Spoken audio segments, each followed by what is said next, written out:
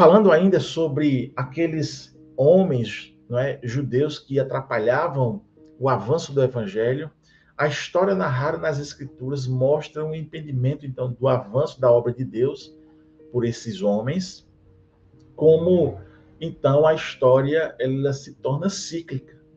Aparece sempre com esse espírito de obstinação em impedir as coisas de Deus. E recorrentemente, quando olhamos para a história da igreja, quando olhamos para o nosso contexto nos dias de hoje, nós conseguimos apontar também esses embaraços. E hoje, com a explosão das mídias sociais, onde cada um com um aparelho eletrônico conectado à internet via uma rede social emite a sua opinião, a gente vê as mais aberrantes é? opiniões, ideias que chegam a nos deixar vermelhos de vergonha. Agora Paulo ele vai afirmar que eles estavam obstruindo a evangelização dos gentios quando diz no versículo número 16: "E nos impedem de pregar aos gentios as palavras da salvação, a fim de encherem sempre a medida de seus pecados. Mas a ira de Deus caiu sobre eles até ao fim." Esses judeus incrédulos só acumulavam pecados.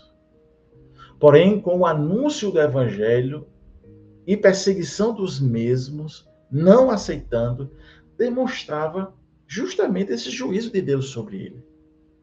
Ou seja, a ideia de Paulo é, é que quanto mais você se opõe ao evangelho, mais demonstra o juízo de Deus sobre a sua vida. Certa vez, é, estava compartilhando com alguns irmãos.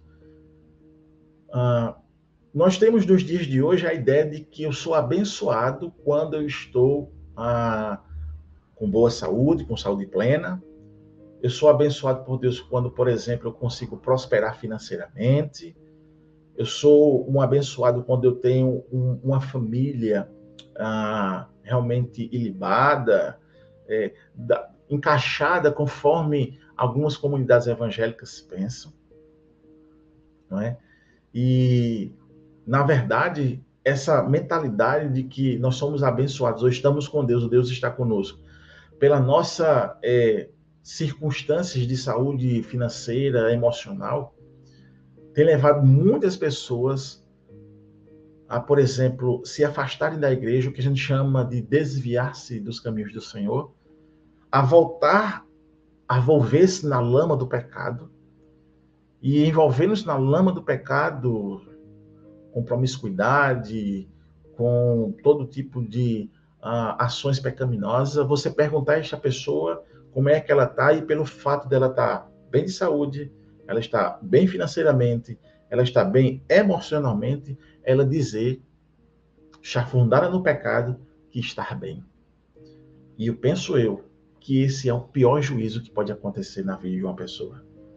Ela ter conhecido a palavra, ela ter participado de uma comunidade evangélica, ela ter louvado, ela ter, enfim, participado dos dons e hoje se encontra afastado dos caminhos de Deus e abrir a sua boca para dizer que está bem. Eu penso que esse é um dos piores juízos que pode acontecer na vida de uma pessoa. É entender que longe de Deus ele está bem.